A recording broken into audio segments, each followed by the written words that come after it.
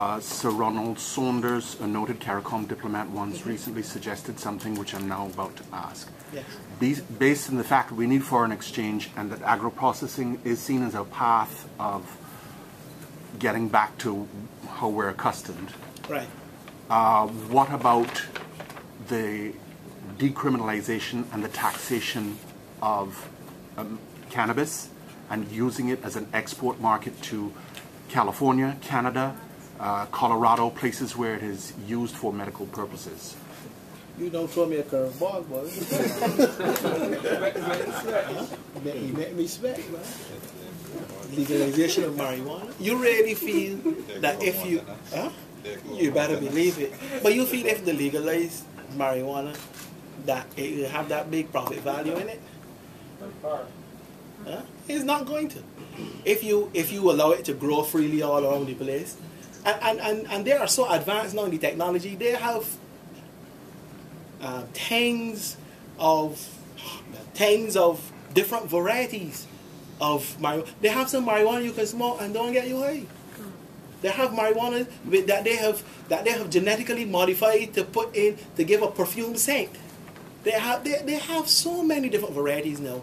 I am afraid that even if it were to have um, extinct uh, uh, economic value to it, that we have so missed it. But we, we, we are so far behind in that technology that I don't know that we'll be able to catch up now. The Americans are very are very clever at these things. So they have gone ahead and they have I, I saw a documentary on National Geographic. I could not believe it. I I know marijuana is, you know, marijuana, we know they got a couple of varieties around. but um, not that I trade in that type of stuff. Uh, but you hear the talk around the place, you read it in the paper.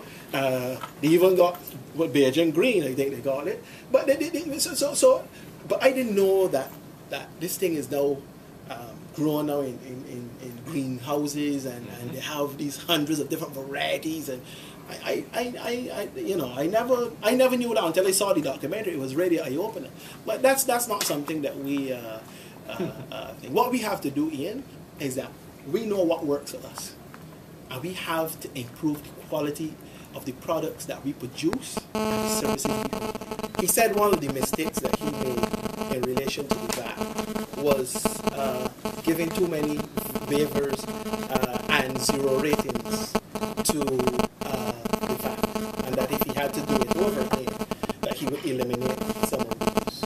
I think that makes the point uh, quite eloquent in the sense that every time you do an adjustment in relation to rating or exempting from payment of any tax, it is a cost because as you uh, either collect it and give it back or you don't collect it back, then uh, it uh, present, present, presents a challenge. We believe that the uh, that the uh, current exemptions are adequate in relation to the basket of goods. There may be some adjustments that you could make in terms of taking out some items and replacing them with other items, particularly more health items, which would address the issue that Barbadians have with uh, uh, health issues and chronic non-communicable diseases. Uh, but in terms of a blanket expansion of that basket that is not, it's not bad faith. We're not negotiating in bad faith.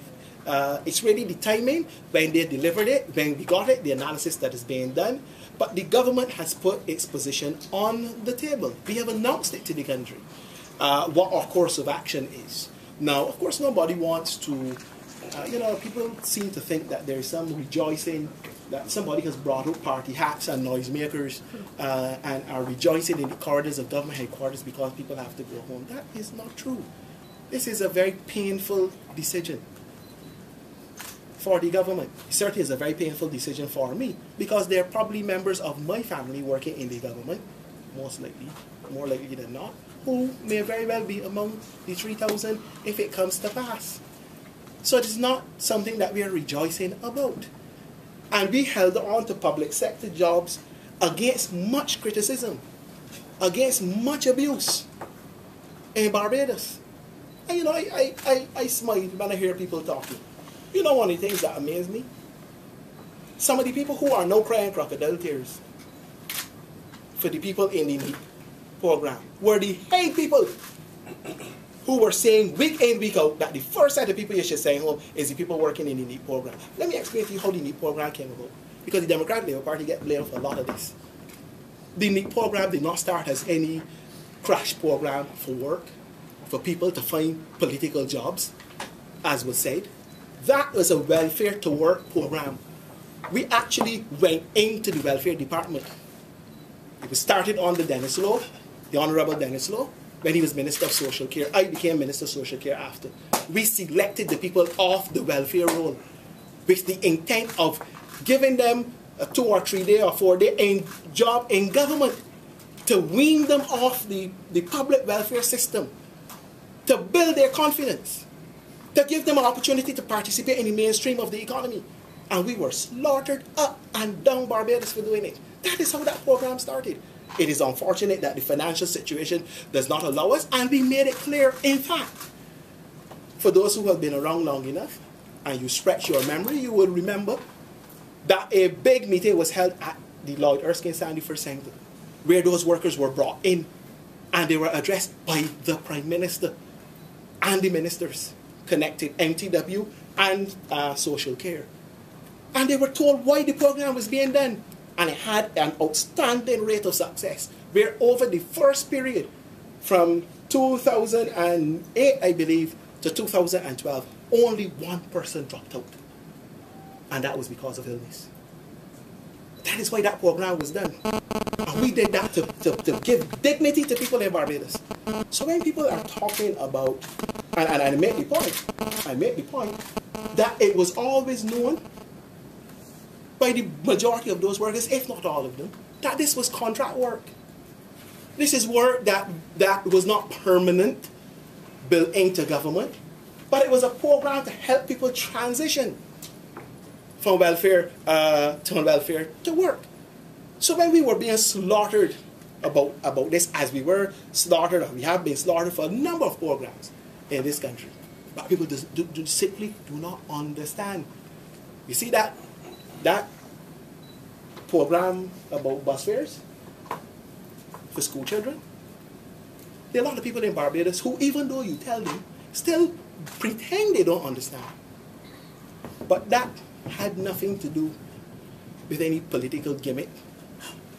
That had to do with saving a class of young people in this country who were under fundamental threat from forces out to do evil rather than good. I can't say it specifically because I am sworn to secrecy when I was a member as Minister of Foreign Affairs of the National Security Council. But I can tell you that if we did not intervene in that particular way, the public of Barbados would have seen some things in Barbados. People who know, know. But the vast majority of people don't know what was going on in bus stands in Barbados and how people's children are being ferried in and out of this country for prostitution and drugs. So when people talk about these programs, let me tell you something. Just sit down and no willy-nilly thing and be doing this to get votes. That is not how that program started, and it's not how the NEAT program started. And I'm saying a government that has a heart, of made up of people who have heart, and who are interested in the development of their own country and development of the people in their country will take decisions to protect those people. Sometimes those decisions have, most times those decisions have costs.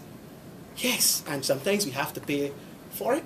Sometimes we have to make adjustments to bring them to an end or to shift them or reformulate them, find ways in which we can take the burden off the state.